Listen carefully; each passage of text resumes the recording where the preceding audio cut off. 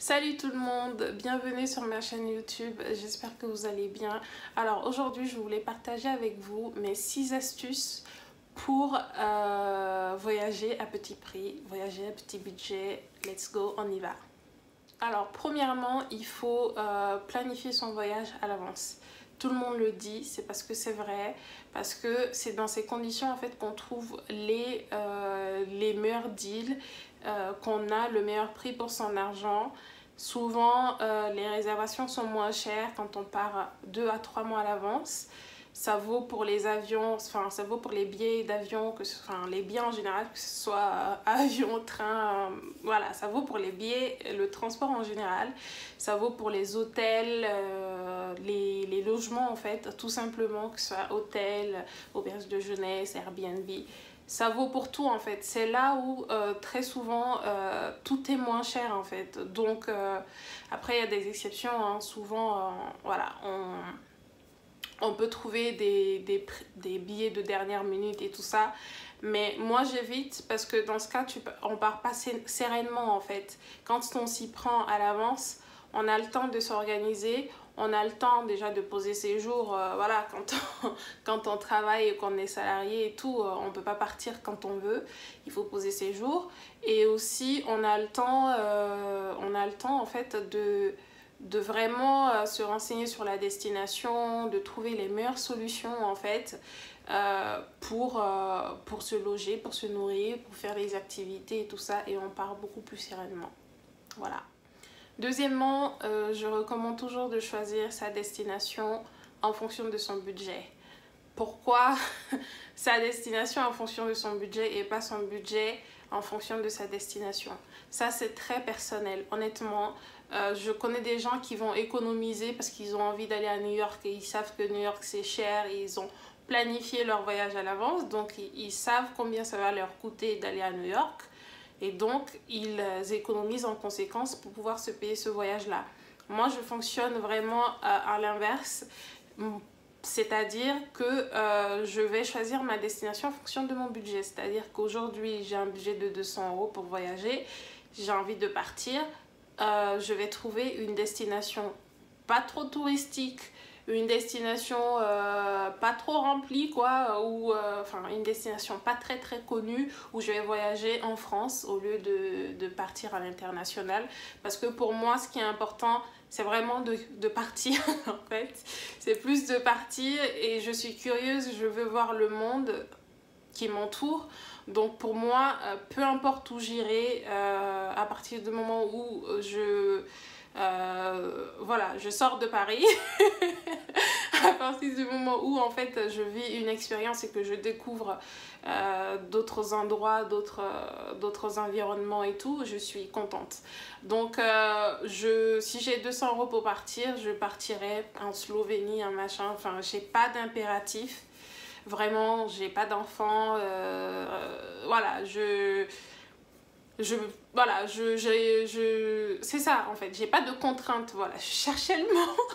J'ai pas de contraintes en fait. Donc euh, si je veux aller euh, enfin si je trouve des billets pas trop chers et que la destination le logement en gros j'ai une destination qui me coûte 100 balles j'irai. Alors troisièmement il faut toujours partir en basse saison tout le monde le dit. Encore une fois, c'est parce que c'est vrai. Partir avant euh, les fêtes de fin d'année ou après euh, le nouvel an, c'est toujours plus intéressant. Et c'est toujours plus intéressant de partir après l'été et euh, avant l'été. parce que, encore une fois, très souvent, c'est pendant ces périodes-là où euh, où les gens vont, quoi, où tout le monde, où il y a des départs de masse et tout, donc tout est horriblement cher. Alors, encore une fois, si vous avez euh, des enfants, euh, vous êtes en couple et que vous êtes limité, vous avez des contraintes, vous avez un parent malade et tout, enfin, vous avez des contraintes, ça laisse très peu de liberté en fait de choix tout simplement parce que on veut partir pendant les grandes vacances quand les enfants sont en vacances, tout simplement, comme ça on part en famille. Euh, ça nous laisse très peu de choix, franchement.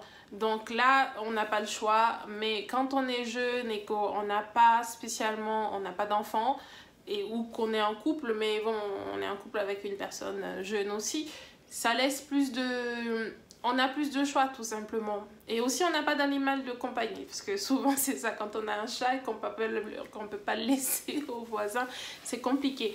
Mais oui, euh, moi je ne suis, je pars très rarement en, en été euh, parce que c'est là où tout est hors de prix. En général je pars en septembre, fin, entre mi-septembre et mi-octobre.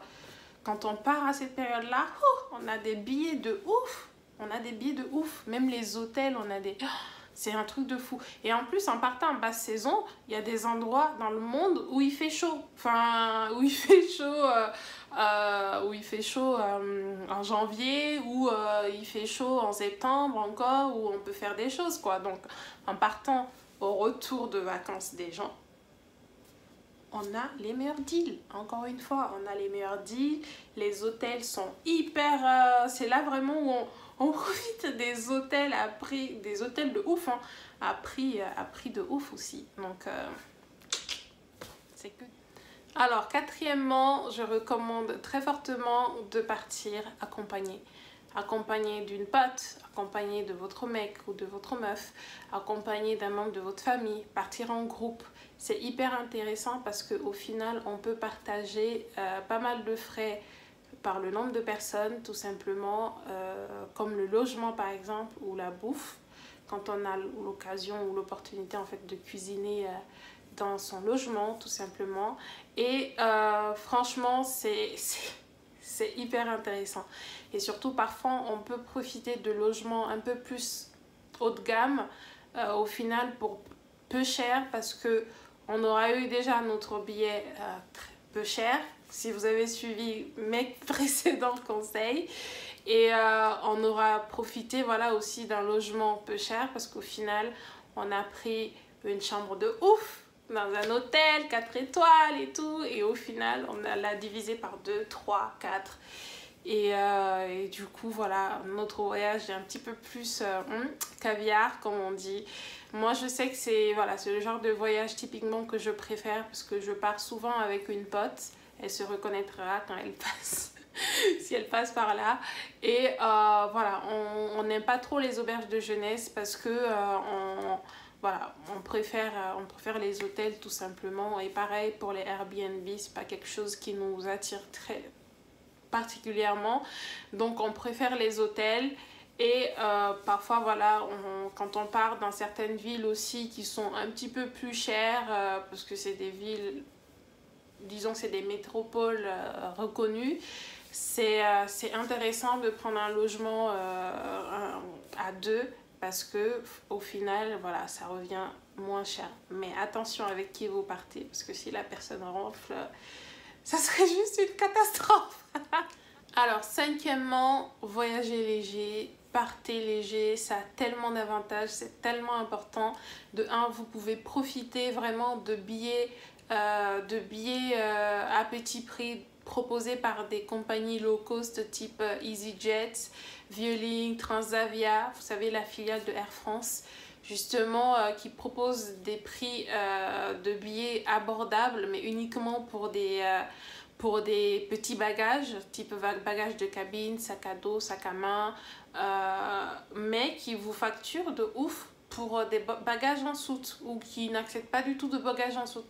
Et franchement, ce serait dommage de passer à côté de ces billets-là parce que vous voulez amener 10 euh, 000 robes, 10 000 ou 10 000 pantalons ou 10 000 paires de chaussures, 10 000 sacs à main pour un, pour un séjour d'une semaine ou de deux semaines ou même de trois jours quoi franchement à part si vous voulez euh, si vous allez en fait pour un enterrement de vie de jeune fille ou de vie de jeune homme et tout ça.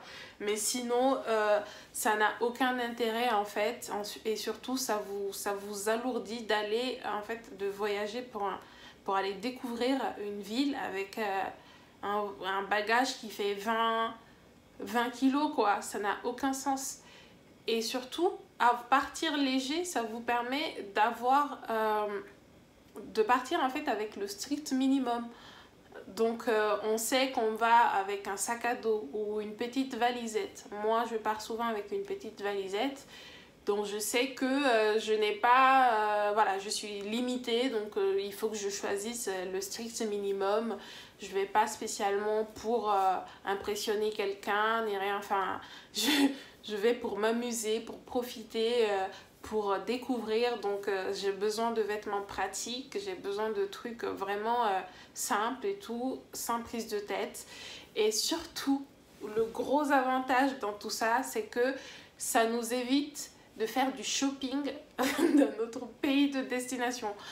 Euh, moi, vous savez que j'ai un problème avec le shopping, hein, euh, donc euh, partir léger me permet vraiment de me limiter parce que je sais que j'ai droit à 10 kilos maximum. Si je, si je dois choper, ça veut dire que je dois payer un dépassement à l'aéroport, ce qui est absolument pas envisageable. Alors, ma sixième et dernière astuce pour voyager à petit prix consiste tout simplement à explorer votre destination vous-même, sans guide euh, idéalement, mais bon, ça dépend. Hein. Parfois, quand on va dans certains endroits un peu euh, lointains ou euh, au fin fond, par exemple, d'un pays, voilà, on n'a pas vraiment le choix. Mais très souvent, on peut explorer soi-même une ville sans passer par un guide local avec Google euh, à pied ou à vélo. À pied, j'adore, je préfère parce qu'en plus euh, on, brûle, euh, on brûle pas mal de calories et surtout il m'est arrivé une fois de, de, parcourir une, ville et, et de perdre mon plan. C'est-à-dire j'avais plus de batterie, donc j'avais plus de plan, j'avais plus de Google. Je pouvais pas me repérer. Au début j'ai paniqué, j'avoue. j'ai paniqué. Mais après, euh, je me suis laissée guider tout simplement par mon instinct et euh, j'ai découvert euh, des, des, quartiers de ouf. J'ai même découvert une boulangerie artisanale qui faisait des pâtisseries de malades. Et donc, oui, parfois, en fait, il faut tout simplement se laisser aller, explorer une ville, un quartier, comme ça, sans sans forcément d'endroit euh, défini. Parce que le plus souvent, quand on part euh, dans une ville, on dit oui, euh, on a fait ses recherches, forcément, donc on, on a un plan, on, veut aller là, là, là, là, là. Mais au final, ça nous limite parce qu'on ne prend pas le temps de découvrir certaines, certaines spécificités de la ville, en fait. Et euh, parfois, on peut tomber sur des choses euh, surprenantes, sur, des, euh, sur des petits restaurants, souvent très très peu chers en plus, hein, où on peut découvrir justement les spécialités de la région ou de, voilà, de, du pays et tout ça. Et c'est trop trop cool. donc vous pouvez être à pied ou à vélo ou en trottinette, ça dépend des villes et tout ça. Mais Vraiment, vous pouvez les louer. Hein. Je crois que c'est voilà, très souvent c'est possible. Et surtout, ça nous permet d'économiser des sous pour les transports en commun. Parce que quand on part pour une semaine ou, euh, je sais pas, 10 jours ou 8 jours et tout ça, ça fait un sacré budget pour les transports en commun. Euh, c'est un budget qu'on peut prendre pour, euh, pour aller au musée, par exemple. Moi, j'adore visiter les musées, mais il y a tellement d'activités euh, gratuites qu'on peut faire, euh, vraiment. J'adore aussi visiter les églises. C'est gratuit. c'est gratuit. Je sais pas, les églises en Europe sont tellement euh, sublimes. J'adore, j'adore visiter les églises. Donc voilà, c'est tout pour cette vidéo. J'espère qu'elle vous a plu. Si c'est le cas, vous savez quoi faire. Mettez un j'aime, partagez, commentez, dites-moi ce que vous faites pour économiser de l'argent lorsque vous voyagez et surtout n'oubliez pas de vous abonner, c'est très important pour moi. Il faut qu'on atteigne 1000 abonnés au moins sur cette chaîne avant la fin de l'année pour que je puisse m'offrir une caméra pour filmer des vidéos de qualité parce que franchement c'est pas c'est pas évident de filmer avec son iPhone. Donc merci beaucoup, je vous dis à très vite dans une prochaine vidéo. Bye